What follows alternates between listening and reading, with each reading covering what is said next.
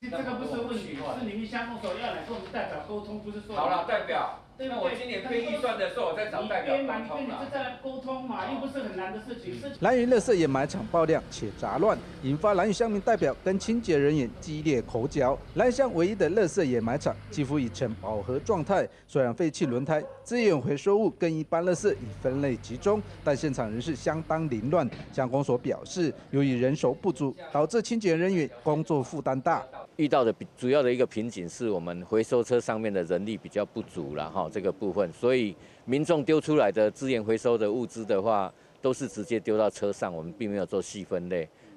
然而，蓝屿乡民代表会举行定期大会，在五月十二号、十三号下乡勘察基础建设，针对清运人手不足问题，虽然乡公所曾向代表会反映应增加人员经费，但蓝屿乡民代表回应，公所应该更积极找代表会协调沟通。对这个问题，因为现在目前乡公所所编制的清洁队人员确实不足。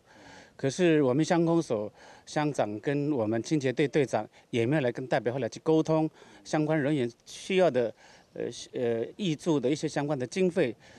蓝屿乡公所表示会持续跟代表会协商增加清洁人员编制。至于目前一般垃圾跟资源回收物爆满情况，公所表示以为有民间业者将资源回收物以太空包装运到台湾本岛处理。原是新闻，小麦大盛台东蓝屿采访报道。